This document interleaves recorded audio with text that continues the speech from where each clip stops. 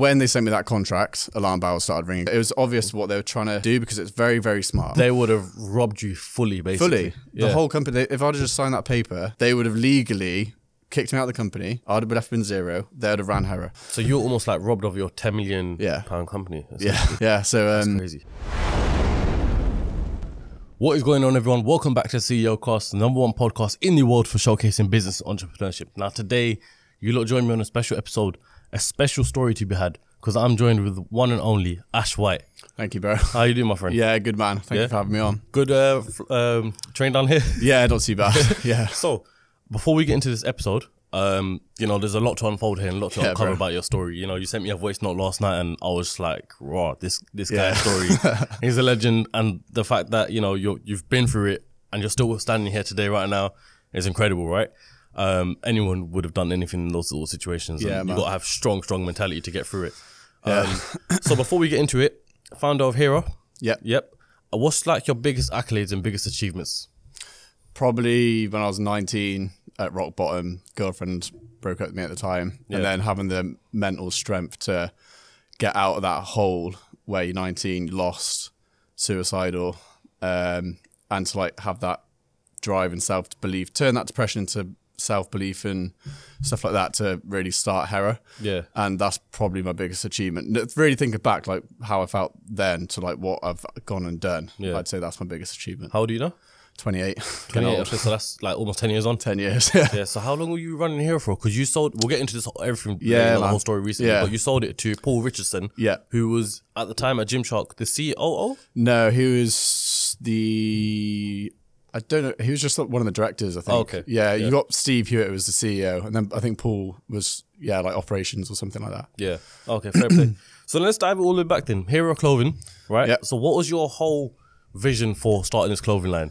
Because you said you told me you found a gap in the market, which nowadays if I was look at a clothing line and I try and find a gap in the market, for me it would be pretty much impossible, Yeah, right? Because yeah. I wouldn't know where to start, Yeah. what to do.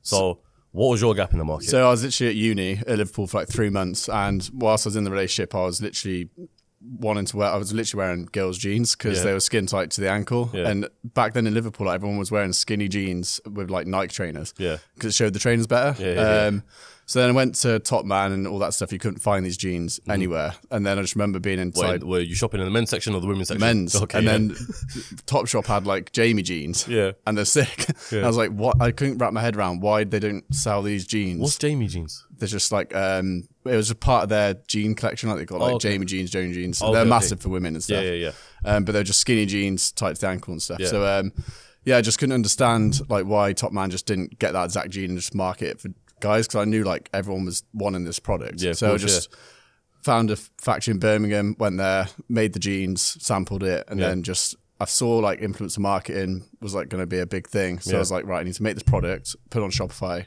use Instagram and Geordie Shore, Yeah. and had Gaz from Geordie Shore as the face of it from day one. Yeah.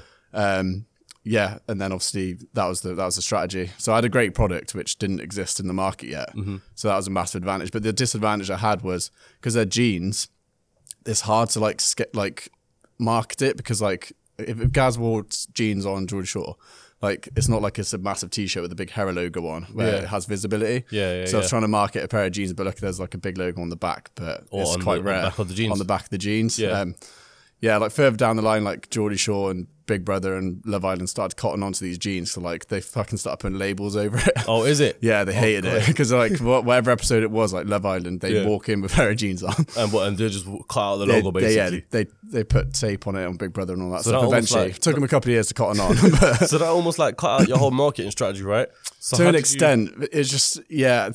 At that point when they started cutting it out, it was all over Instagram anyway. So Yeah. it's like kind of it caught on by then. Yeah. yeah. How much did you start the brand with? Before we get into it, make sure you subscribe and set the bell notification to all so you never miss a single episode.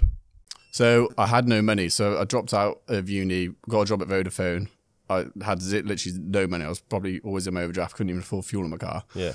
Um, so then I did everything backwards because I knew I needed to find. I went to Barclays Bank, so look, I want to start a business. They're like, okay, right, here's a form. You need to f- fill out this business plan. Tell me how much you need. So I did everything backwards. So I went to um, found a supplier in England, made samples of jeans, got costs for that Yeah. spoke to Gaz from Geordie Shore, his manager. They said no constantly to begin with, and then they eventually sent me a contract over after like a month later of like just going back and forth, like literally almost begging them just like take into consideration. So then eventually they said, fine, we'll do it. And then um, sent me over the contract for like 12 months for like two grand a month. And I still had no money, but I signed it anyway. Yeah. Because I was like, I didn't want to like put them off. Okay, so yeah, yeah. I signed a two grand a month contract Yeah. with no money and then put on my business plan. Um, and then built a Shopify website um, in Birmingham, got costings for that. So I had all the costings, went back to Barclays Bank. They're like, sorry, we can't do it and all this stuff. Went to Virgin Startup Loans. They're like, yeah, we, we can't, we're not going to do it. So then I literally had everything Why, why were they rejecting it?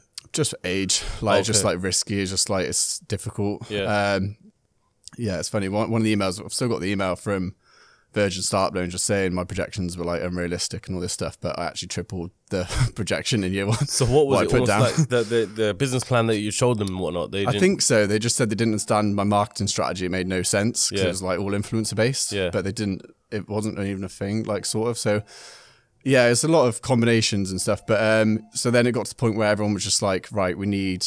I was like, right, I need this money. Everyone's asking me for the money now because I knew I was always going to get the money. So Yeah. that's why I just spent the year doing it.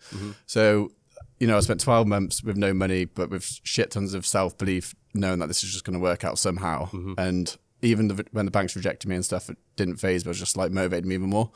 So then it got to the point where I was like, I was looking at online, like every single possible way to get the money. So I was then eventually I spoke to my parents because I didn't want to speak to my parents because I wanted to do something for myself without anyone interfering or like having something over me Yeah, sort yeah, of thing. So what, I told was them. that due to? Was that like pride and ego or I, I just think I wanted to do it because I didn't tell anyone what I was doing for the 12 months. Yeah. Not even my parents, my friends. No, one knew. Okay. What about your girlfriend? Did she know? No, because my girlfriend at the time broke up with me before I started doing the Hera stuff. Okay. So then it was like that 12 month period going through the breakup where I was so driven Yeah. to like create the brand. So I didn't tell anyone. Okay, yeah. So um, did that. And then, um, yeah, so I spoke to my parents and they're like, no, like no chance because we just lived in a like normal council estate house. Yeah. Um, and then a week went by, and then they sat back down in the living room. They're like, "Look, Ash, we can't believe we're doing this, but we've remortgaged the house to give me the twenty five thousand pound loan." So they gave me the twenty five grand loan. Then it all became real pretty quick. Yeah. Paid everyone. Then launched with Gaz from Geordie Shore, and then um, yeah, and then we made one sale on the first night, which didn't go to plan because you just think like, oh, they've got millions of followers. Yeah. You know, it's just going to pop off Yeah. and all this stuff, but it's not the case. Um, and the jeans back then, when, when I launched, I think we priced them at like £120, pound, which was just like too expensive looking back for that market. And Mm-hmm. Yeah. it wasn't until we lowered the price down to I think it was like £50. That's when it really popped off. And Okay. then, like in, yeah, in the first year, That's a like drastic drop though in, in price. yeah, it's I got advice off like people in the industry and just like look your price point and your, your target market you're going after like young kids like 17, 18, 19, 20 Yeah. plus. You like you need to be in that sort of bracket sort of thing. You got to think if they've got 120 in the first place to spend on a Yeah. pair of jeans. Yeah, so did that and then it just yeah, we blew up like we did a million in sales in year 1, Yeah. which is crazy. I mean, you say a million in sales in year one, which is crazy, of course. And you say, yeah, we just did it. It doesn't just happen like we just did it, sort of No. thing, right? Yeah. So from that point, just just to throw it back there for when you made that one sale initially, right, Mm-hmm. overnight, how did that make you feel? Was it, It like didn't phase me like that because I'm I was so like my mind was just so like I just knew it was always going to happen sort of thing. But you must have expected in that particular scenario that you you'd get a whole load of sales come through and whatnot. Yeah, I think it was a bit of a like a reality check. Yeah. So it's just like, okay, this ain't going to be as easy as I thought. It's like this can take a lot of time, but Yeah. it just it just snowballed, and then um, you, you had Aaron and Scotty T on there, and then all of a sudden Gaz was messaging saying, "Look, the, the lads have stolen my jeans out of my pack back. Like they're all they're taking all my stuff. Like, Yeah. can you send us loads of stuff out because all the lads want to wear them? Yeah. So they all wore them every episode. So that just started to grow and grow, and then we expanded onto like Towie. They all wore it. Then Love Island, Yeah. and then just like and back then 2015 2016 like reality tv was gigantic So as much as that was like, you know, marketing, that was almost like natural word of mouth sort of thing as well amongst the celebrities. Yeah, because the product was sick. Yeah. Like it, this product was the best jeans Yeah. you could possibly buy at that time. Yeah. Like because everyone wanted them, and Yeah. they there was just such a gap in the market. Because I hated shopping for jeans back then because it's like they never fitted properly. Then like That's just like me now. I hate shopping for jeans now. yeah, it was a specific Yeah. area, and it's just like yeah, I think that's why it worked. No, I get you. I want to throw it back to that one point you said. You know, your girlfriend and you had broken up before you'd started Yeah. the brand. That that breakup, right? Did that? Um. Well, how long were you with her for? A year. A That year. was my first girlfriend. So that was your first girlfriend, yeah. That breakup there, did it almost um, fuel you in a sense of, all right, everything else, I'm now chasing my brand. You know, I haven't got my girlfriend there. I've suddenly got this fuel from the breakup. Yeah. Um, because it's kind of like a natural thing to do. You know, if someone breaks up with their girl, they go pursuing other things Yeah. to try and distract yourself from you know the breakup. Of Yeah. course, because the last thing you want to do is dwell on the fact that you you know you just Yeah, so really- like. This episode is sponsored by Fireaway Pizza, the fastest growing pizza company in the UK. With over 100 locations, you definitely have a store near you. The founder of Fireaway was on the show not too long ago, and you can get a slice of the action by using the discount code CEOcast at fireaway.co.uk. Once again, use the discount code CEOcast at fireaway.co.uk. really thinking back, like it ended, I didn't take it well. It's just, just like I couldn't handle it. It's just I didn't understand. Like I just when you go from like being with someone every single day Mm-hmm. to not at all, it's like almost like you're experiencing death sort of thing. Yeah, yeah, yeah. It's just like it's a big thing. It's like breakups, like guys and stuff. It's hard to Mm-hmm. deal with. Um, so yeah, it. I, back then, I just I was absolutely fucked. like, just couldn't handle it. So it just like, yeah, it just it just had to rebuild myself. Like it, all- all of the, it was literally that. I was just like, right, just focus on yourself. And I, I genuinely had proper depression, like suicidal back then. It didn't for a long time, for like for like a year because Due of that breakup, breakup. yeah, all because of like that breakup and stuff. Um, so I just literally set two goals, which was start a business and get in the best shape of my life back then. So I spoke to Lewis Harrison um, to make me a plan. So he coached me, joined a gym, um, and then literally my other uh, goal was start a business. And that's when I started doing the business plans, going to the bank on my own at 19, talking to them about businessy, like doing all this stuff and go, going, I'd go to Vodafone, work nine to five, go to the gym till six, and I'd go home and I'd work from six till two in the morning every day on repeat. And I loved it. And it didn't feel like work. I was just like, like that. I found something where, you know, I pretty much replaced my girlfriend with the business sort of thing. So I was like, okay, this is where I'm going to put all my energy and focus on. No one can take it away from me. This is mine, sort of thing. Like, Yeah. and it was just like that sort of thing to like yeah, fix yeah. myself. Yeah. So I did. So I did that, and yeah, it's just um, used all that drive basically just to really do the That's what I'm saying. business. It's kind of like a natural thing to do. I know so many people who, who have gone through that sort of situation where Yeah. they've broken up, not necessarily started a business, but they've got new jobs or they've got new things going on in their life or they're trying new things, new hobbies, you know, that sort of thing. And Yeah. whereas a business is, is pretty much a lifestyle at that Yeah. point because, you know, you're living it in 24 7, right? Yeah.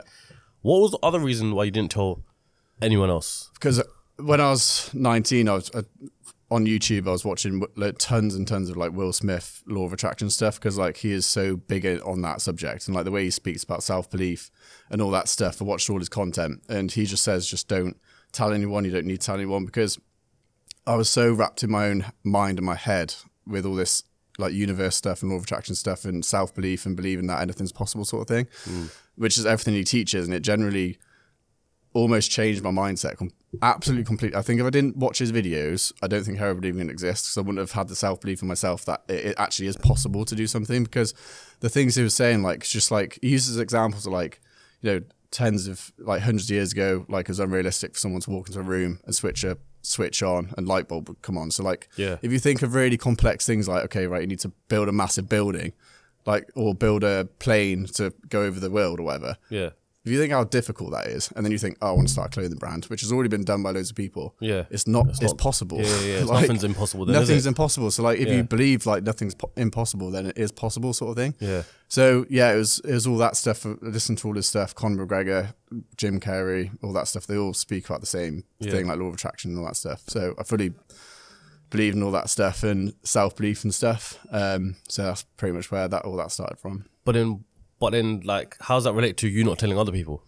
So Because that builds your self belief. I'm 100 percent with that. because same other people don't think how you think because Okay. like there's no point in telling someone your goals and dreams when Yeah. they've ne- one they've never done it themselves two they're not on that level of consciousness anyway Yeah. so it's just like i'm not gonna and people speak to other people to get um what's the word to get like clarification that their idea is good and why would you do that like it's the most pointless thing like you need to just do it for yourself Yeah, and then yeah. no one believes you anyway. And there's again, Will Smith did a really, really good interview on stage wearing like this white jacket sort of thing. If you want to watch that, where he just says like, no one believes, no, like you don't know who you are. So and nobody knows who you are. Mm-hmm. So it's just like until you go and do it for yourself, people will think you're crazy anyway. Yeah. It's not until you start getting your sales, and you start to actually do it. Like when my friends and family, when they found out I was doing all this brand stuff with Heron that launched with Gaz. My phone blew up. It's like, what the fuck? Like, where'd this come from? Yeah, yeah, yeah. And it's not until you do it and like they see it. Yeah. It's like that's the best possible way to show them. It's like once it's done, not you're gonna do it sort of thing. Yeah, no, I get that. That's the same sort of thing. So you, you see with me, and I've got like big podcasts coming on, right? Yeah. I don't tell anyone, not even the people who are. I tell like a couple of people who are part of the CEO cast team. No one else outside of that, and the reason for that is, is I just feel like every single person. I used to tell anyone who I'm doing a podcast. If, yeah. Yeah. I've got a podcast with freaking Richard Branson coming on. Yeah. never ever happens. Yeah. you know, uh, it's almost like it's jinxed. So Yeah. I, from that point onwards, you know, when I done Tate, I never told anyone. Yeah. and I've got another big one coming up soon, hopefully and I just won't tell anyone who it is. And everyone's Yeah. asking me like, "Yo, like, when's the next pod- big Yeah. pod?" I'm just like, I don't know when the next big podcast Yeah, is. You know, do you know what I mean? Yeah, Like, yeah. I might have to fly out for it. I don't know, but Yeah, man. it's, it's one of them ones where, for me, it's not so much of other people having doubt in me. It's just I just feel like it just messes up with the whole flow of Yeah. things. And you don't want to be infected by other people's negativity Yeah. because like it just distracts from your own mind. Exactly, yeah. Just focus on yourself and follow people. Even when I started the podcast, I didn't tell no one. Yeah. You know, they all found out naturally because they, Yeah. they were on YouTube one day and they saw a recommendation from CEO Cast. Yeah. I remember my mate was in the car with me and he was like, what the f-? Yeah. I was like, oh shit, yeah, put that away right Yeah, now. exactly. Um, but yeah, no, it's crazy, man. So back to Hera. What all happened after that? You know, you say you done a million in the first year yeah. as if it happened overnight and just like that. I'm sure there was trials and tribulations that you had to It face. was it wasn't that bad like the the first year because the, the first year was good because like we just had three products like it was just literally we launched with black jeans and we expanded onto blue jeans and different types of rips and we literally did a million off three products. Yeah. and that was it. It was very simple. It just we we grew so quick because the demand was gigantic. Like Mm-hmm. we would we weren't even paying for stock up front because we had to put a system in place where you they had to pre-order the jeans. So like we had to put them on the website. Yeah. and then we would have like I don't know five thousand orders or whatever. Okay. and then it, it- they would have to wait eight to ten weeks Eight to ten weeks. for them to be made, and then they would come in, Yeah. and then we'd be sold out straight away. Yeah, yeah, yeah. It was that we were never in stock because the demand was so high, and we would like bootstrap it. So Yeah. like we just used the pre-order method to like fund. The- The, whole the thing, stock. and we just Yeah, yeah, rapidly yeah. grew, and they were happy to wait so because they had else kind to go. like you, you- as you explained around, it's kind of like you weren't, you know, you didn't have to invest your own personal money into the business. we wouldn't have been able to because we started with 25 grand so like we ordered like i think 300 pairs of jeans to begin with but Yeah. and if you think in 12 month period like how would you snowball that to a mill Yeah. like it requires a lot of stock so course, just yeah. like it was the pre-order stuff what enabled us to grow that So you- quick yeah, you essentially built up the hype, built up the name, built up the reputation. Yeah. and people were demanding it. the only downside to that year what i can remember is I had a letter come through because i was still at my parents house at the time and then had a letter come through it was like it spoke to me was like we've had a letter from levi strauss you know, Which Le- levi jeans Oh yeah, yeah. just uh, What'd they say? that basically we had like a label on our jeans, like Yeah. it was just a black late tab thing with Yeah. hair on it. But I knew like obviously they had like the red tab, but didn't know like they trademarked the fact that you know you can't have any tab whatsoever on on your jeans Okay. anywhere. So what did they want to do? Have like a actual case against Yeah. it? Yeah, yeah. So we had to like settle with them and stuff. Yeah. which is crazy. How did that all unfold? Is Can't go. could- yeah. I, I don't know if I can go too much into it, but yeah, we had to settle with them. It was like six figures, so it was just like it was a lot. Um, but yeah, it's it's crazy because like you think, you know, you're young, you're in a council estate house, then you're getting the biggest brand Yeah. in the world sending you a letter, Which which is, is do you know what? As bad as it is, like you know, the fact that you got to pay six figures and it's like, oh god, now I got to deal with this case sort of thing. it was scary. It's scary, hundred percent. But it's almost like, all right, so they recognize who I am. Yeah. The biggest brand for jeans knows who. And who then a are. year year later, we were next to them in Selfridges. so Yeah, that's just like- crazy. See, there's, that's what I'm saying. There's a whole lot to unfold. Yeah, here. yeah. In that first year, you know, you started the brand yourself, right? You mm-hmm. didn't have no partners. No, no. Did you have any people working for you in the rest, like, the rest of the No, year? first year it was just me, and then eventually, like I know Black Black Friday came around, and I just had basically the living room looked like a bomb. It just like it just stacked to the ceiling. So you're still in your, in your house stocking everything.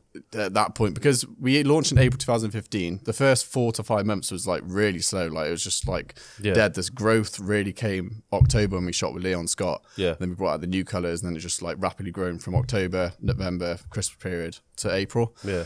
Um, but yeah, just send send out all the orders myself, going to post office, all that stuff, and then my friends and family would help pick and pack orders. Yeah. it's funny looking back. Then we'd have like bo- boxes arrive with jeans and stuff, and it just yeah, it's crazy. So that year when you done a million, were you ready for that? Like uh, some some people may be listening to this right now. Million in revenue, big warehouse.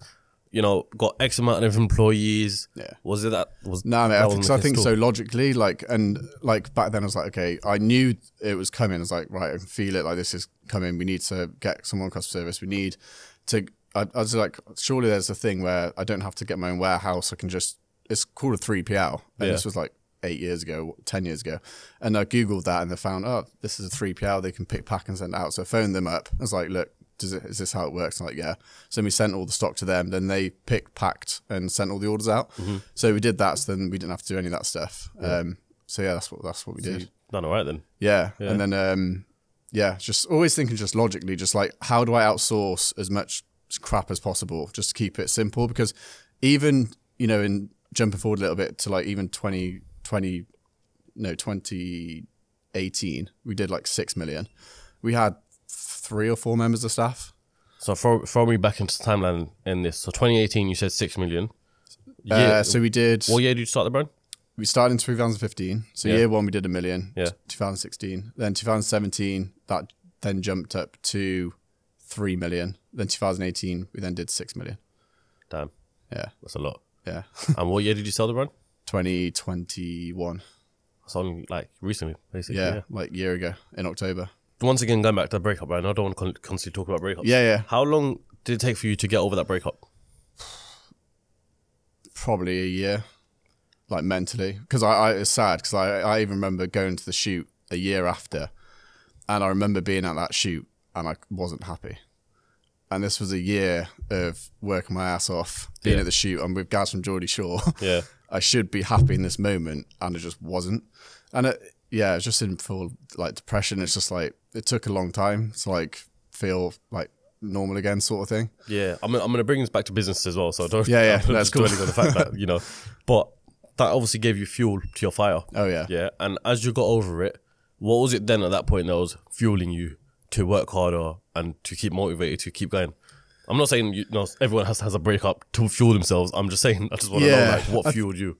I think because I never look, I never had that drive and fuel like I had in that time period ever. Mm-hmm. That was a very unique situation. Like I've never because you can't fake that. Like you can't just wake up and decide I'm going to have drive and fuel. Like, yeah, yeah. You just can't. so it's just like I was lucky and fortunate enough that that happened. I didn't ever have that level of drive ever mm-hmm. again. So just like I had a high. I'm a very driven person. So naturally, I work hard. I love work. I can work hours and hours a day. Like I like I love it. So I think just seeing the business grow and I enjoyed it. It didn't feel like work. So I think that's what drove me. I didn't feel like work. I loved what I did. So it's just like it was very easy to stay on top and really work and put everything into it because I loved it. What was your upbringing like? Were you, were you like were your family well off, or what was your whole situation financially? No, so like we just went to normal school, um, is just normal. Just like you don't know anything else, do you? like it's just a normal upbringing, normal normal school, all all all good, and then just went home back to normal house, and then just played football on the green or whatever with all your normal mates. upbringing then. Yeah, it was just normal upbringing. I literally worked like I was even when I was like thirteen, I had a job washing up plates and stuff at local restaurants, and then mm-hmm. I'd go to get a job at the co-op after went to Hartpury College. Then I got a job at the co-op, just literally just on the till, and then I would literally even get a cleaning job before it even opened. So I'd clean the co-op at five in the morning. Yeah. Then I would then go to work after it, and then because it's just another way of making money. So Yeah. yeah, I was always like kind of driven to like work and stuff, Why? like money. I I I, if you, I think I even. I So- look back at one of my tweets from like when I was like 2014. I said, I literally tweeted like, I need money because I'm too good at spending it, Yeah. or something like that. so I just like I always like knew I just needed money. So um, Is yeah. that the reason why you started a business as well? no? It's it was purely because of the breakup why I started that, and then it was just um, I found it's But just what, it was what good made you? timing. Sorry, sorry to like, I'm because I'm trying to understand this, right? You know, Yeah. you you'd been working essentially prior your whole life before this, right? Um. So what made you want to start your own business Good and, question. and make money that way, as opposed to you know I can just get back in a job and bang out more hours? I think it's because I wanted to do something really good for myself. Like it's like I don't know why. Like it, I, I remember when I was like just I remember in the, my parents' living room, I was on my own, just like in tears and stuff, and just like it was at that moment when I was literally made those two goals, like create a business and get in the best shape of my life. So it's just like at the timing of it, it's like okay, well, I actually need these jeans. Like I want to make the I want to wear these jeans. So it's like a combination of oh, I've got a product, and then I started to look into, you know, how to make them and all this stuff, and starting a business. then I just delved all my energy into that because it was just a massive distraction because I could work on it outside of work. But did you ever have any other experience in business, or did you ever have a vision of you know starting a business before research into it? I was very entrepreneurial anyway. Like looking back, as like even I remember, you know, when I was ten or eleven, like I wanted to watch WrestleMania as a kid, and my parents were like, no, because it costs like twenty quid. So like me and my mate was like, okay, how do we get twenty quid? So we just went on the street and just washed cars. Okay. so it's just like there's tendencies and like the whole like you know selling sweets to school. I was that kid. Yeah. So just like looking back without even knowing. it. And my nan, So it was in you then. my nan even said to my parents like he's gonna do well in life because like he just knows what he's doing. Like in Yeah, terms yeah. of that, she she saw that from Yeah. like a very young age and stuff. Yeah. So it was in you all the time then. Yeah, I remember even my nan, um, bless her, she uh, she was like, "How are you making all this money?" Because I come, I'd go to hers because she gonna be left home. So uh, Yeah. I was like, um, she was like, "How are you making this money?" Because I'd like, "What's the cash in my, my wallet?" And then she was like, she she then went, oh, she's like, oh, "I can go to Lidl and buy these products for you for cheaper." Yeah. so like, she was buying like cheaper sweets to sell at school and She- stuff like that. Your suppliers, Yeah, nan. she was. Yeah, she was just like, "Don't buy me. I can go to Lidl and just get loads." Did you did you and do you ever get motivated by motivated by the luxuries of life? For example, you know, you mentioned to me off camera earlier that you had a Urus. Hmm. Um, you know, f- fulfilling that sort of lifestyle is that what has allowed you to, you know, when you see results, you want to chase more and more and more because the more you have, the more you can nah, have I've luxuries. I don't think not now because I've had that life for quite a while. So like you know, I had that when I was like 21. So it's been like seven years of like doing all that stuff. So I've done it. Yeah. Um, and then you soon realize you get accustomed to it and you're just used to it. And with or without it, doesn't change your like the way you feel sort Yeah. of thing. It just Yeah. doesn't really matter. None of it, none of it matters. You know, it's um, maybe like when when you're younger, like oh, I really want the cars, and that's what I did. But yeah, once you get, it's like anything, you you just get accustomed to it. I think even watching Aleem, he did a YouTube video saying, "Oh, you know, you should be happy driving a Bugatti and stuff." But eventually, like when you drive over and over again, it's not the same as the first time you drove the Bugatti. Yeah, of course, yeah. So it's just like you know what I mean. get accustomed to anything. do. Um, and you know, you'd think people who might be in my position or, you know, just, you know, wherever you are, you'd be driving your car, you'd be dreaming of the next step above. Yeah. Thinking that that's going to be everything you've ever wanted. Yeah. Give it a month after you've owned it and you realize, I want the next thing, I want the next thing. Because gonna it's always the, on. it's the journey. yeah, what matters. It's the journey that Yeah. matters a lot more. Yeah. What was the most, like, outrageous thing you had probably purchased for yourself for the first, for the first time? definitely the orange Lamborghini. so like I was like 21, I rented one of Aleem's car pet cars, and that just got me into like Lamborghinis. And then it's just such an impulsive decision. Yeah. Spent like Which one did you rent of him? Uh, I didn't get to drive it because I knew a guy called Mark. So he would drive, pick me up, and then we'd just go around Cheltenham and just drive somewhere and just like take me around it and stuff. And then, Yeah. uh, yeah, caught the bug. And then I uh, went to see Carl Hartley. And then he was the only guy who'd actually, you know, finance the car for me. It was like, like, we can do this car for you. It's 90 grand up front. And then you can pay monthly sort of things. So like, fuck, okay. Which car? There's a Huracán. Uh, yeah, it's an orange Huracán. Yeah. Uh, which was my first car, and then got it. I was like 21. Drove it back to Cheltenham. Was like, fuck, where am I going to park it? Because I had no parking. Yeah. So it's just like, yeah, it's just very impulsive. So how long did you have that for? Uh, a good couple of years. Then I was just in and out of cars, like different Huracán Spiders, Huracáns, Ferraris, Urus, like just in and out, like probably Carl's dream customer. but Carl, if you're watching this, we need you on the pod, mate. yeah. But you know, getting the- getting these luxuries of life, how did that make you feel when you first bought that Lamborghini, the first one? Yeah, I just love cars. Like it wasn't it, wasn't to do with anyone like seeing it. It was like I love sport cars. Like the sound of them driving them. Yeah. When a Lamborghini drives past, I'm in awe because I love Yeah, yeah, cars. yeah. And that and I get I'm quite in, I'm very introverted. I don't like people looking at me. I don't like that at all. Yeah, So it's like I, am quite uncomfortable. So Yeah. I don't like going to Sainsbury's and parking it and then everyone's staring. I hate it. So it's like my favorite part about the car is being inside the car and hearing it. And I even prefer being outside the car and seeing it drive past because you can actually watch it. yeah, yeah, yeah. Um, you can hear it more as well, if anything. Yeah, because I, I had one of like when I got the Ferrari for like a couple of weeks, I literally sent it back because like it didn't sound Which good. one did you have? It was the Spider four eight eight ones. Was the one that's the turbo. Yeah, yeah, yeah, You can't hear nothing. Yeah, it's just like I was literally driving. I like, I don't even know I'm in a Ferrari. Like, so I just like switched straight back to Lamborghini.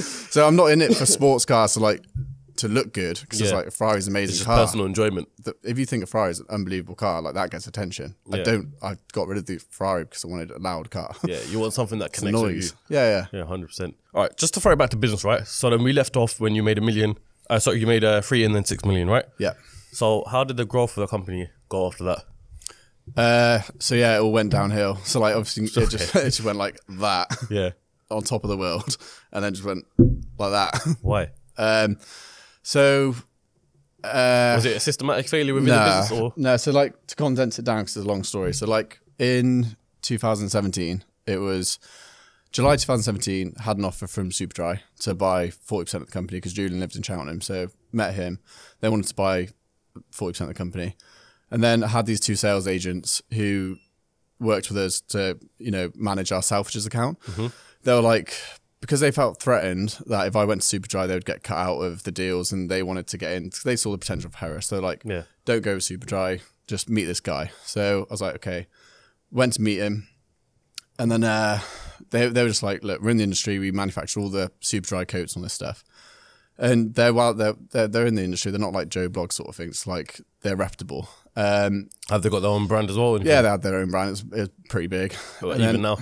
Not anymore. I think they sold, obviously, it was a big company. So they kind of like sold it and he's old now. Yeah. so then the, the two sales guys like meet these guys. So I was like, okay, met them.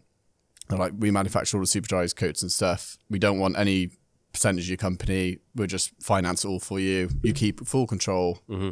and all this stuff. So you like, had 100% control Hundred percent, yeah. And I was always wary of like giving up control and stuff, and like losing it to a big company and whatever. So I was like, okay, I- I did that basically. I went down that road.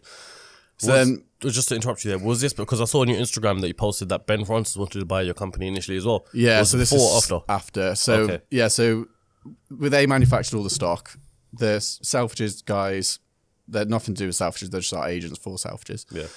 they did all our buying for us because obviously this is new territory for, for me. So it's like, and you're being guided. They're the first adults in the business, mm-hmm. reputable. One of them used to be from JD. So like, obviously has nothing to do with JD anymore. So this has nothing to do with JD, but the guy and all this stuff.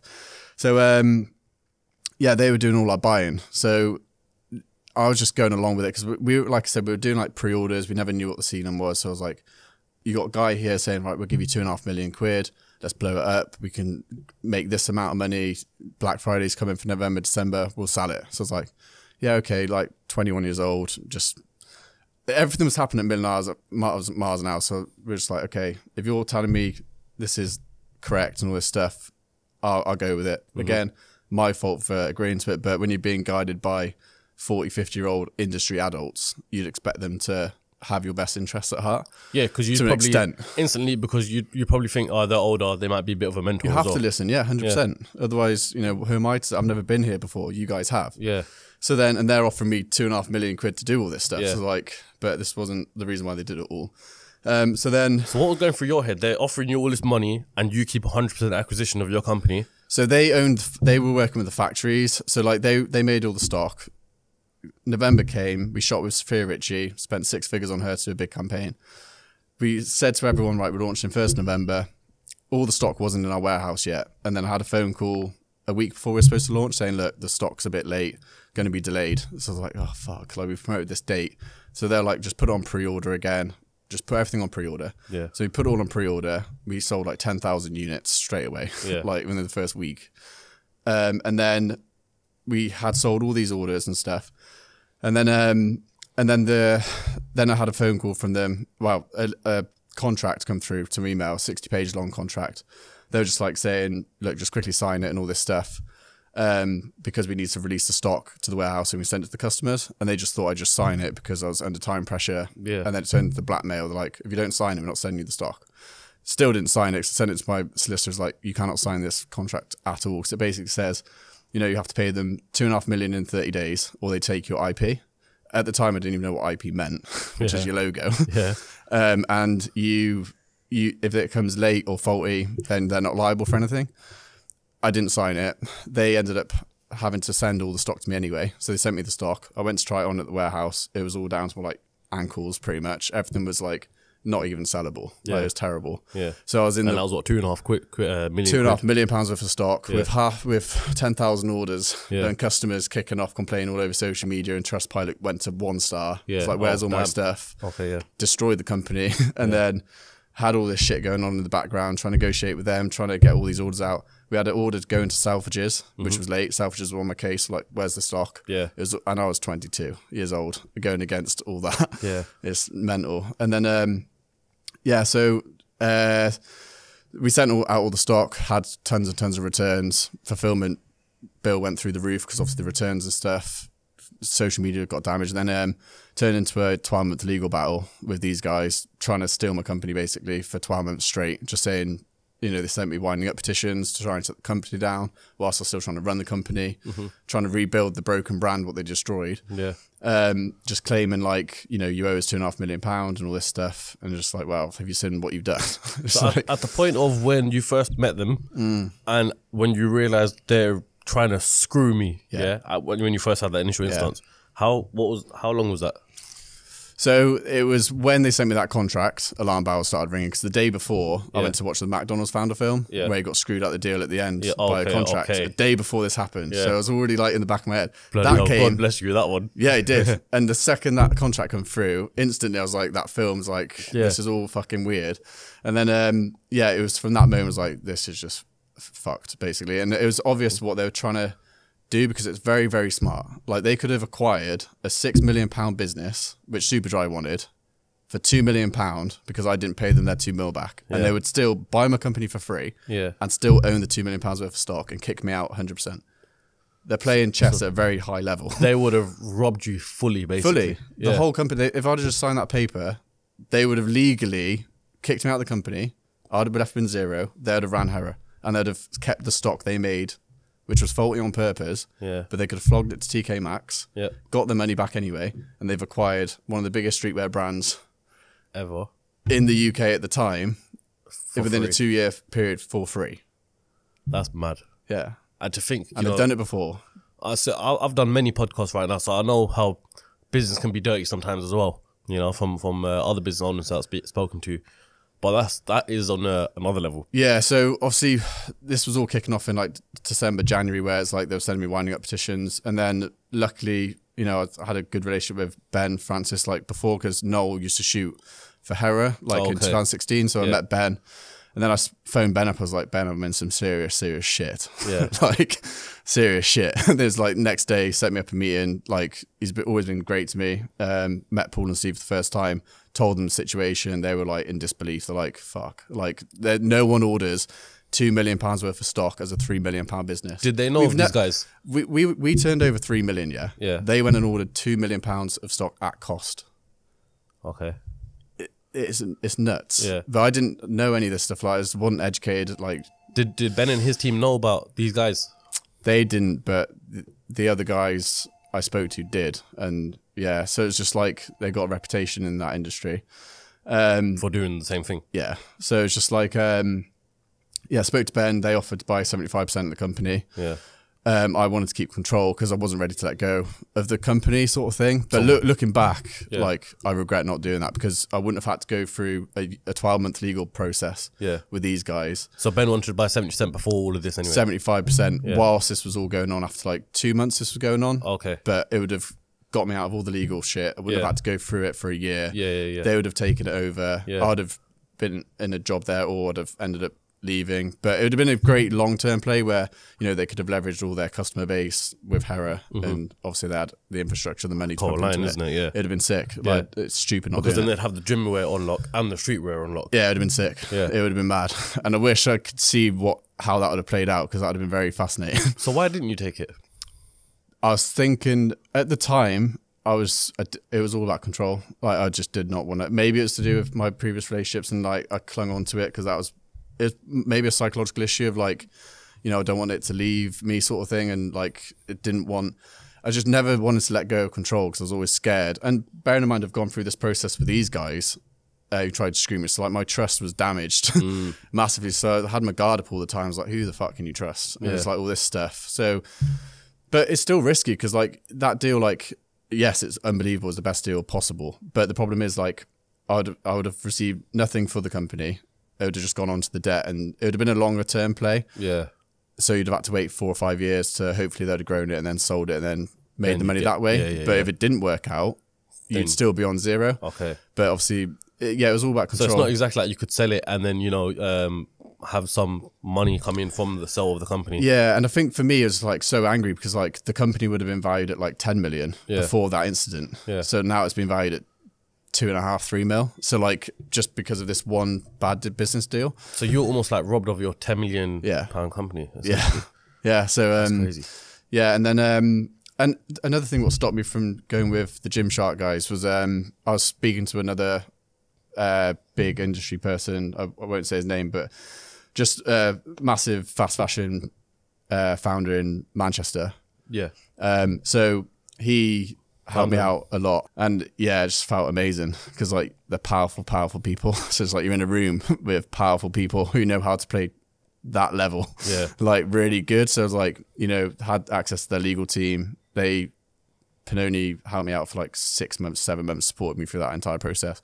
They supported me through it, um, and then yeah, it's, it was just um, a big game of chess. It's like they, those guys wanted at the end forty nine percent of the company, but they wanted to give me a loan instead of equity, and I was like, it's just not going to work because like I don't want to have debt because like what's the point of giving halfway my company just to owe you the money? Yeah.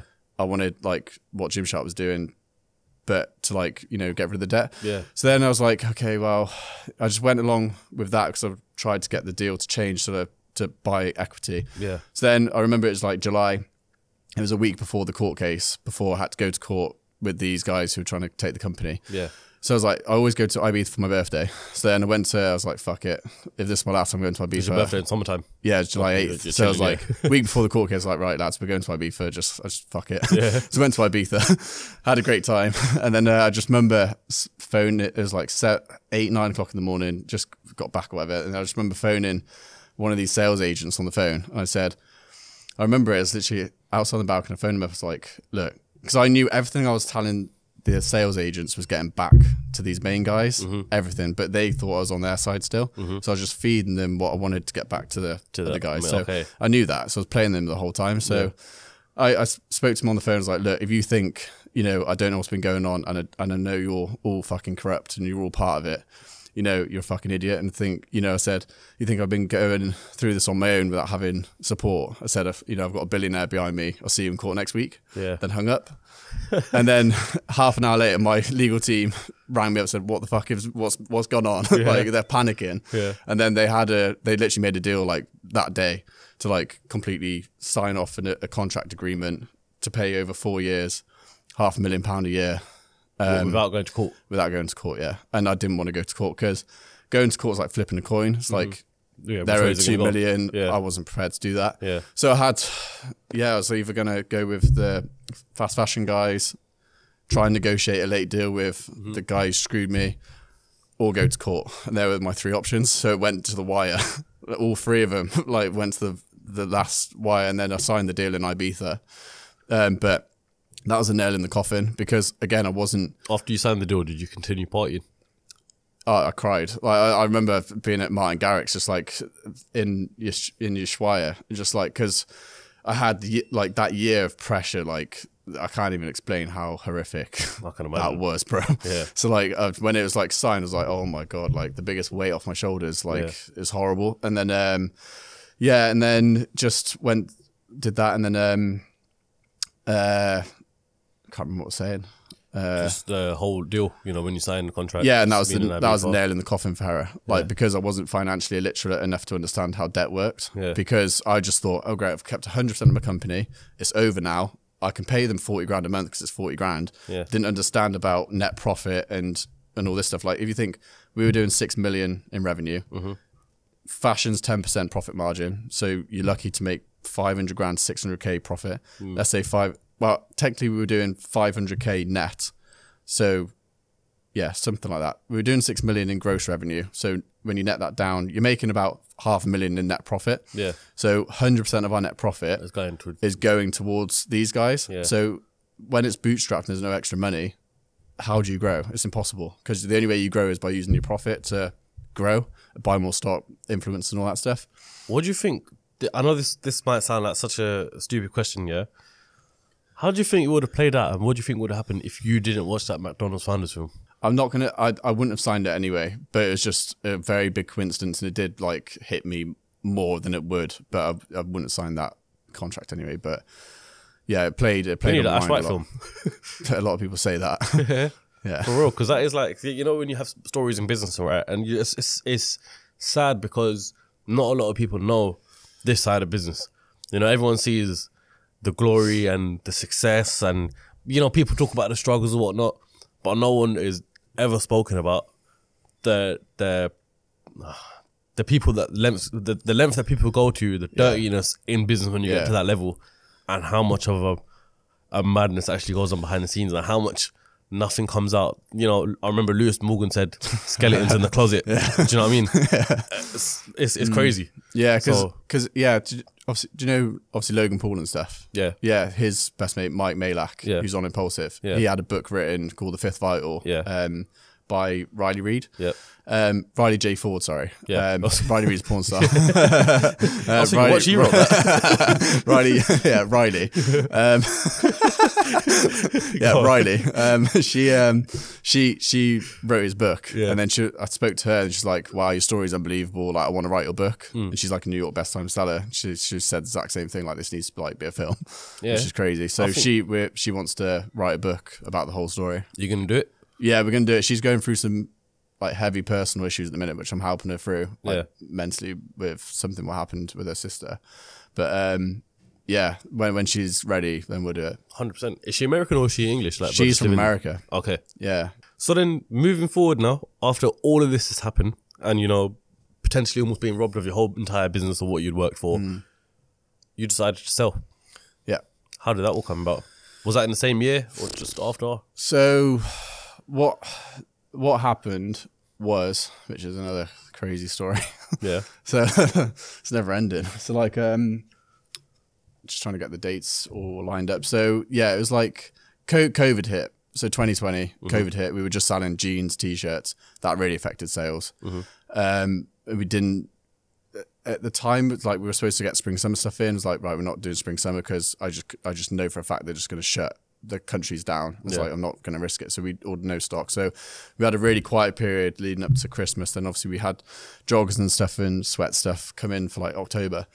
But um, yeah, so sales like dropped a lot, and then it was tricky. It was hard, and then we missed one payment to these guys for the first time. Like had one missed payment. It, so in three years, we had 100% made the payments.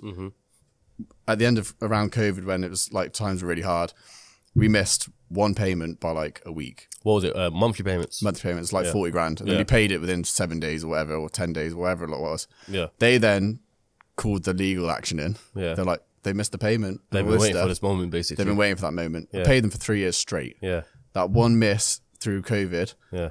bang, legal team on my ass. Like, we want, we, you missed it. This is the write-in. We we want the company. So then I was like, oh fuck. Then I had a week to literally find whatever left was owed as like half a mil. Yeah. So I used my contacts, spoke to Ben Gymshark, spoke to JD in the style, um, people I knew, um, just anyone really. Just like, look, this is my situation. Like, I need to sell the company or like get investment. Spoke to Paul because he was just transitioning out of Gymshark. So I think his daughters wanted to run something as well. So it was, that he he was always interested in Hera because of through Gymshark as well. So he was he was interested. All of them were interested. I had offers from all of them. JD in the style, What to to buy the company? yeah, Yeah. to buy the company. They were all around the same amount. JD like wanted to buy half of the company, Yeah. but they wanted me to run the company. Okay. But I didn't. It was down to Paul and JD at the at the end and the fast fashion guys again. Um, but I didn't want to. I, I, I was just so tired at that point. It was like I was exhausted mentally. So I was like, I don't have it in me to take it further because with, with the JD stuff, it's like again, it's just like you're employed pretty much because like if you sell half company, you work for them now. I can't just go on holiday or do what I want, Yeah. sort of thing. So I decided just to sell the whole company to Paul.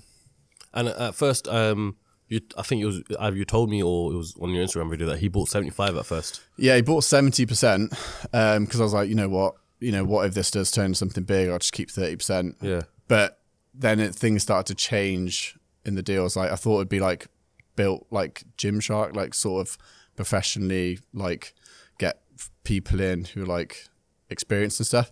But then it's just like I had a gut feeling, It's like, okay, like it's more of like a family daughter thing. Mm-hmm. So I was like, okay, look, this is fine, Yeah. but I, I don't believe in the brand with the way you're marketing it, sort of thing, at all. Um, I might be completely wrong, but it's just my gut feeling and judgment from what I'm seeing. So I was like, look, I think it's just best I just sell the remaining thirty percent. Yeah. All sweet. You you do what you want with it. I'll Yeah. go. And look, looking back, I'm glad that happened because you're tied in anyway. So I can't start another brand, can't do any stuff because you're tied into these things if you own thirty percent of a company. Yeah. Okay. Yeah. so yeah, I'd have had to sell it regardless. Yeah. So in six months, twelve months, I'd have had to. And Paul wanted me to um, put in that I couldn't start a company for like five years. I managed to negotiate down to like twelve months. Oh, so even after you had sold the thirty percent. Yeah, so I'd have had to sell thirty percent. Then from that moment I sold the thirty, then the time kicks in where I can't start a brand. So I managed to get that down to like twelve months Why? Why do you think? Yeah, that that these guys don't want people to? Because I've heard it as well, where you know, uh, someone sells a company, they can't start another company for for X amount of time. Do you think that's because the person buying the company doesn't want you to even be competition? Hundred percent. because when I start my new brand, Yeah. which is coming out in two months, it will smash out into pieces. so, so Twelve months is over. yeah, so, so like, yeah, that's why. Well, yeah, we'll talk about that in a second. So Yeah. then, so you had sold everything at this point, yeah? Yeah, Was it a point? uh, Was the debt still on you, and did you not acquire anything from the sale? say that again. Sorry. So when you sold the company, was it just to pay off the debt? Like, did you get any No, so so we well? paid paid off the debt. I made, I think it was like just under three mil Hmm. net, and then yeah, just had that liquid, Yeah. which was nice, but it didn't last long. So how did it not last long? Crypto, so yeah, so Shout out another twist crypto. What did you do? This is. I know this is a complete different turnaround in the whole story so far for the audience. You They're think, like, what, what's you going think on it's now? a happy ending? he's got the he's got the money. He just- he's got the money. he can just he's live got happy. his new brand. Yeah. Everything. We, we still got more steps to go downhill first. But nah, the universe will smack you in the face again. so like, So what happened? yeah, so so it what it was because looking back, like I'm extremely entrepreneurial. Like entrepreneurs have to have very high risk tolerance mentally. Yeah. To be able to even think that this is possible. Like if you think how risky Hera was Yeah. throughout this entire journey, it didn't phase me once. Like so I was like had very high risk tolerance. Um and I was just like very into crypto, like watching YouTube, watching what all the billionaires are doing. Like this guy called Raoul Pal, like he's very into crypto. Michael Saylor and all this stuff, like they invest billions into like cryptocurrency, and everyone did. Like, and this was, I sold it in October 2021. Just got the money in my bank, and when it's that amount, it just looks like numbers on a screen. and then you're a kid in a candy shop on Yeah. eToro, and then you're seeing all these fucking coins blow up Yeah. like 10 20 50 100% he's like oh this is easy Yeah. and like everyone else is doing it so like this is the new thing and when everything's when everything's good everyone's delusional and like they're on fucking dopamine and it's all like nothing can go wrong Mm-hmm. Yeah. and that's what i was in i was Yeah. like receive this money put it all into crypto and there was like these billionaires and stuff there's people if you go into like youtube and stuff they generally invested 100% of their net worth into crypto like that michael saylor bloke has like four or five billion in bitcoin so it's it's it's not like fucking kiddie stuff Yeah, I know. When you see that, you believe like if these guys are doing it, yeah, and I did believe in it because I was like, you know what, is a new thing. Like it, it so I went with it, and then literally uh, went in, went up a bit, and then I think it was like around January, everything crashed and it went down in half. And did then you put all three mil into it? yeah, and it wasn't just that. It was like Decentraland, some metaverse ones, like high risk ones, and Yeah. all that stuff. But the majority was in Ethereum. Yeah. and then Solana, which Yeah. went down ninety percent. Yeah. So um, yeah, a lot of the coins. Then the problem is when it went down in Jan, because I was mentally prepared for this anyway. So I was like, look, I know how crypto works and all this stuff. Like it does, it can go down in Yeah, half. course, yeah. Just leave it alone, and it'll go back up within six months anyway. Yeah. But the problem is, went down half, but then the other ones went down.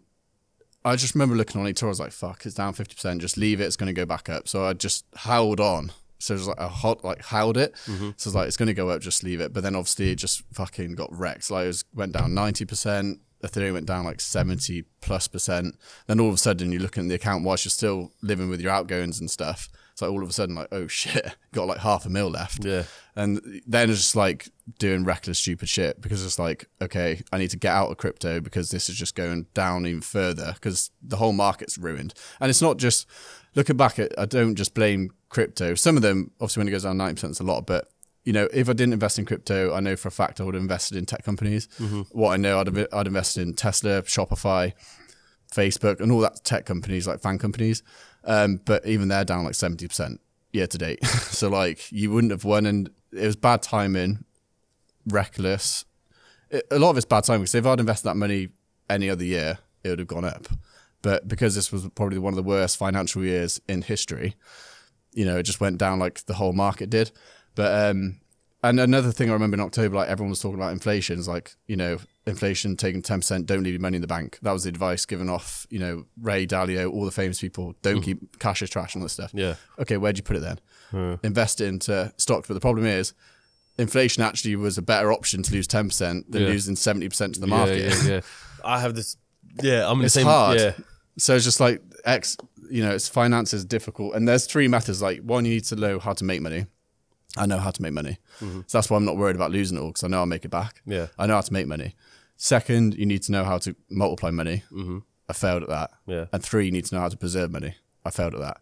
So next time, I need to know how to preserve the money because you need to put in safer assets. Like, don't put your entire net worth into any stock. Yeah. Like, it's too risky because, like, not just crypto. You know, if, I think I read a stat like if you invested in Facebook in 2018, you'd actually be down year to day, like right now, Mm, yeah. which is nuts. Imagine investing in Facebook five years ago, Yeah. and seeing your account, you've made a loss. yeah. It's crazy. So it's it's it's high level stuff. It's not as simple as just investing in a company. It's oh, Tesla's a great company, so you're just going to make money. It doesn't work like that. Mm-hmm. Um, it's like there's S and P 500 index funds, like stuff like that, just low risk stuff, Yeah. property. You just need to keep money just in low risk, safe stuff. It's like Warren Buffett, like look, looking at his stuff. Like in 2020, he got rinsed like by everyone, like in all industry people, just like saying, "Oh, you're not spending your money," because he had the most amount of money on the sidelines ever yeah. and he knew what was about to happen. And it, and I've in 2020, everything was just skyrocketing. Mm-hmm. He didn't put the money in, so everyone was like, "Oh, what are you doing? Like you old, you don't know what you're doing." Next year, who's laughing now? Yeah. he's cle- cleaning up everything whilst everyone's gone down. Yeah. Got wrecks. Lost so it, the old timers know what they're doing. Yeah, yeah, yeah. Of course. But and, and I think seeing crypto and stuff like everything going up 50, 100%, 200%, 400%, 1000%, it distorts our generation's perception of how much a return you actually should be getting a year. And it's mm-hmm. like you're lucky to get 8 to 10% a year if it goes well. So I think it has distorted everyone's perceptions about. Well, you know what the thing is as well. I remember Tate said this as well. He said people who have made who have been rich over you know overnight crypto booming. Yeah. You know, for example, Luna or Shiba or whatever it was, and they put the whole net worth and they've mm-hmm. made one mil into ten mil from one night. Yeah. yeah. They don't know how to actually work. No. they've just made money from crypto. Yeah. Whereas you've got to give credit and amazing credit where it's due to people like yourself who have who've worked and know exactly what it takes to build a brand, build a business, Yeah. go for everything to to get the money. It may be a harder way, of course. You Yeah. know, there might be some crypto millionaires who have made money a whole lot easier compared Yeah. to starting a brand. But put them in the same position that you're in, would they know what to do? I'm not one to say, but argue it's arguable, isn't it? Yeah. Like you, you know, you never know really know. So the brand you're gonna make now, what what's all that? Can we talk about that? Yeah, yeah. Yeah. So chat to me. Yeah, so I've got the name. So I'm doing like a YouTube series. So I'm Yeah, literally starting it. you're from- documenting all of this as well, right? Documenting everything. Yeah, Yeah. it's like daily. So like, because uh, Do you wish you documented everything with? yeah, it's been so sick. Could you imagine? I know. You know when I, uh, yeah, like I had that Oh idea around twenty thousand subscribers. I was like, man, I should have vlogged the whole journey and everything like that. Yeah. So I didn't do it because I was like, I'm at twenty thousand subscribers. The journey's already halfway done now.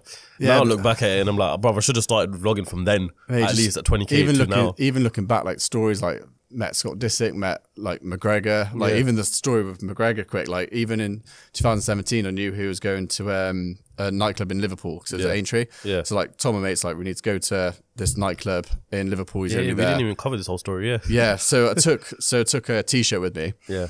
went to the club and then uh, he was like with his entourage at the top so went over there started chatting to some of his mates or whatever and his manager and there's like look I own a brand called hera would Conor do a post for me well, not a post but just take a picture of the top so Yeah. um, next thing i know we were getting escorted into the toilets with mcgregor and his like security guys and his manager Yeah. they kicked everyone out the toilet and then uh, just me mcgregor and his manager in a toilet and then just negotiating with him. It's just like, look, I own a brand, Hera, like, would you wear it and all this stuff? And Yeah. then at first, like, we don't even know this fucking kid, Yeah. like, no, like, and all this stuff. Yeah.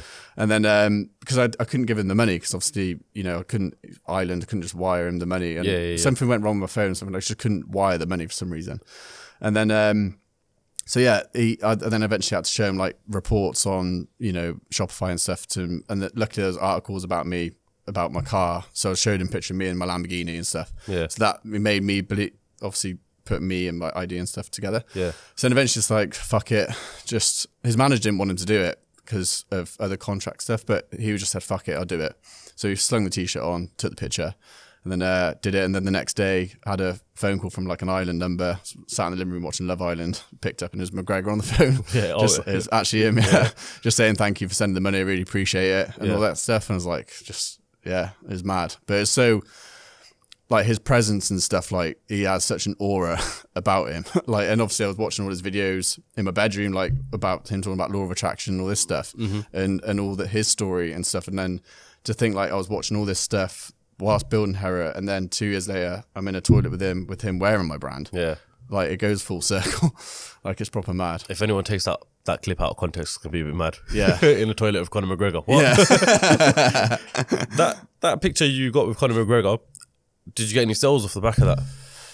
Or was that Um, just because you just wanted him to be in? Yeah, I just wanted to wear the brand. Like, there was no strategy. It wasn't how much stock we got, and there's none of that stuff. But it opened a massive door because um, I think it was like a month later, he was about to fight Floyd Mayweather, Yeah. which was the biggest fight in the world Yeah. at the time. So I then flew out to Ireland. About a month later, that happened, and then we paid him fifty grand to actually post on his Instagram page. So then he took a professional photo wearing a salmon t-shirt, and then paid him the fifty k. And then Oh, so you you had met him after again to do actual proper opened the door. Yeah, so Yeah, like yeah, yeah. obviously in in the nightclub, twenty five grand for him just to take a picture with me with the top on. Yeah. and then opened a door with him, connected with him, and then um, flew out to Ireland, did another deal for fifty grand, and then he then wore the salmon tee.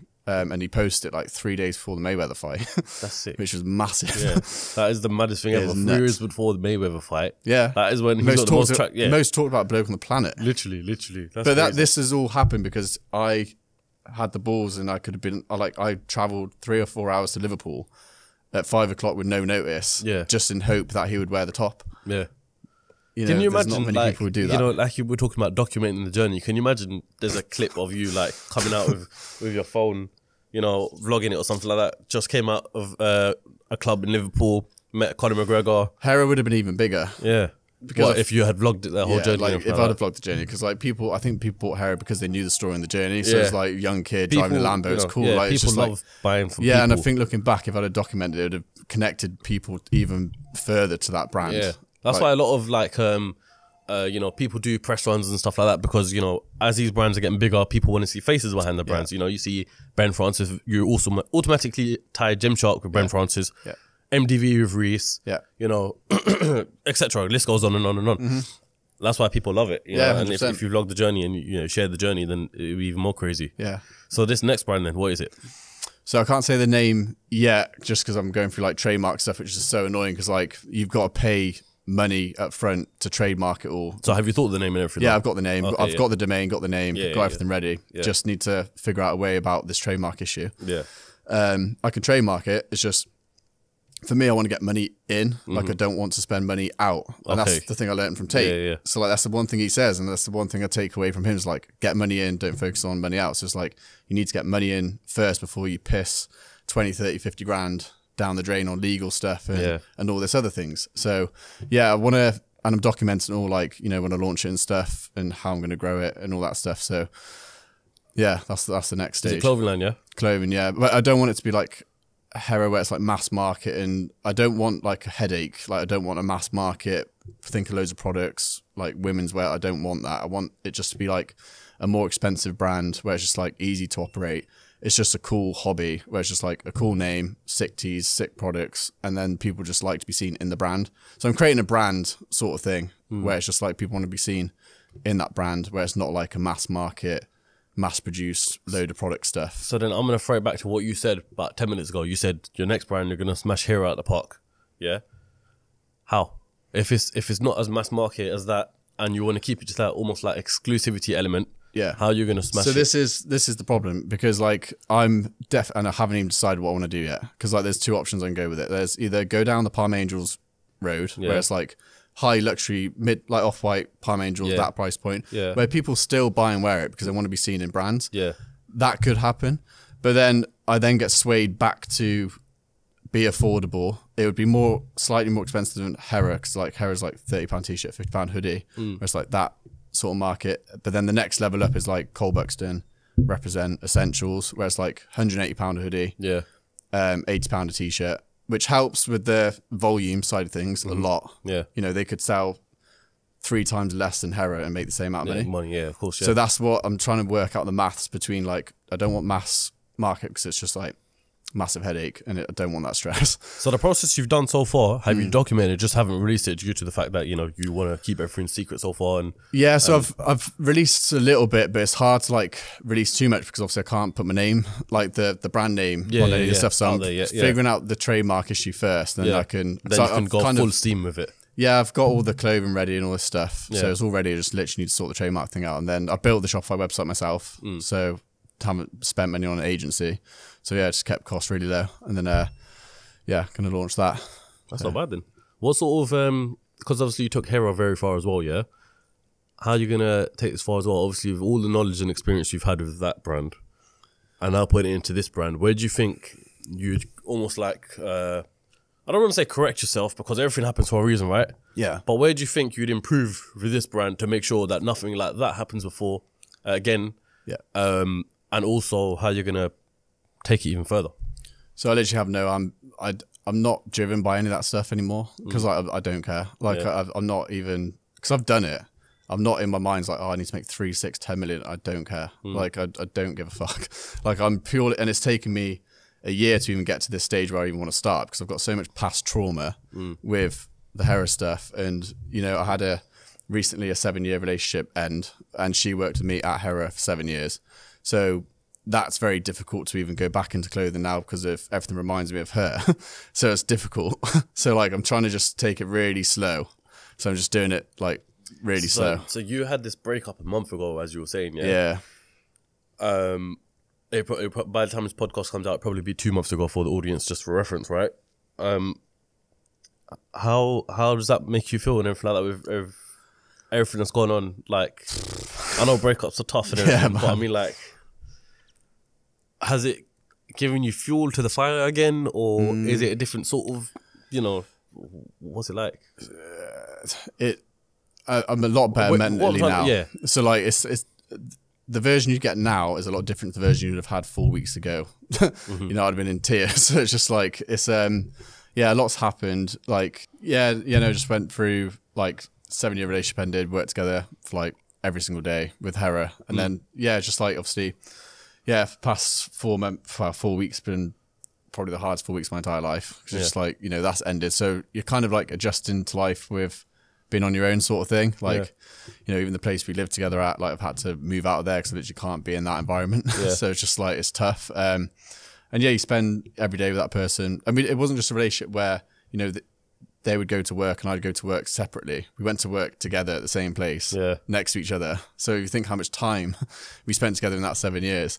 It's a long time. So of course, yeah. yeah, it's it's so fucking it's difficult and hard to like get over sort of thing. But it's just I'm I'm a lot better mentally now because I'm just focusing on work, like just really focusing on myself. Like that's what I'm documenting documenting everything on social media. Like you know, I want to gym, fitness, eat properly, Everything. fitness, work on myself, my mind, um, work, business, set up a new brand, um, launched ashwhite.com, which um, helps people. So you can join like e-commerce club for free. It's like a free Discord. Um, and then you can um, basically I'll just teach people how to start and scale the businesses and stuff. So it's just a really good platform for people to just uh, link up, network, talk to people, courses on there and stuff. And uh, so yeah, I'm doing that, which is nice. It gives you more of a purpose because like I was like, I didn't know what to do, whether to go into clothing or I want. I know I wanted to do a business. So like seeing people on the Discord thing and helping them out gives me a sense of like purpose and stuff. So really enjoying that, and it's a nice balance between getting into a business and keeping me busy and not throwing myself straight into the deep end. Yeah, yeah, of course, Of yeah. So it's a really nice middle ground because it's a new industry Yeah. versus fashion. Yeah. So I'm really enjoying that at the moment. Um, but I know fashion's my thing where it challenges me mentally. So I want to really do that. But instead of just like going like that with it, I've just zigzagged like mentally slowly, just take it day by day, just bits. If, if it gets too much, stop. You know, even with the breakup, like I was getting like panic attacks from just even trying to work on it. So, like, and I've never had panic attacks before. So I've had I get anxiety and stuff, but not never panic attacks. Like, because I'm staying with my friend Joe. Mm-hmm. So, you know, having to leave my apartment and stuff because I just couldn't mentally cope being there, staying at his house. He's helped me out so much. You know, even going for a walk with him, like I just break down in tears sometimes and I couldn't breathe, like to have a random panic attack. Yeah. So it's just like, it's pretty mad. Um, but yeah, it's just, um, I feel way better now, like compared to what it was four weeks ago, just taking day by day sort of thing. And, uh, like I said, just working on myself. What's the sort of message you want to leave out for the audience who are listening to this and watching this right now? Sort of message you want to get across? I think like it depends on what stage you're at. Like I think if you should always like do what you want to do and don't. It's all like I'm big on self belief. It's like watch Will Smith videos. Really, nobody knows who you are. So like really challenge yourself and really push yourself. And the one thing I find with relationships, which is a key thing, is like you get very comfortable and comfort destroys you. Like it makes you weak. So just like it's only when relationships ended both times it's when you're on your own and then you truly know who you are and it's you truly push yourself because you've got no other option.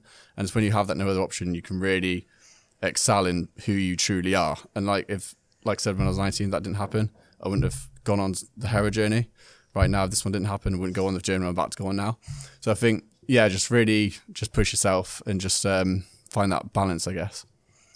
Ash, with that being said, I want to thank you very much for coming on the CEO Thanks, cast. I appreciate you traveling all the way down from your sides. Yeah. Two and a half hour journey. And now you got to go back there. So I appreciate Yeah. you coming down. yeah no really uh, appreciate it bro to do this podcast, man, and, and share what you've been through, man. Yeah, it's been mad. Yeah, it's been crazy. yeah Um, if you lot people want to follow you, where can they do so? uh, it's just ashwhite underscore and then my website's ashwhite.com I'm to leave all the links in the description anyway. So make sure you leave a like on this episode. Try and get 10,000 likes. Make sure you subscribe if, if you haven't already. If you listen to some audio platforms, make sure you leave a review.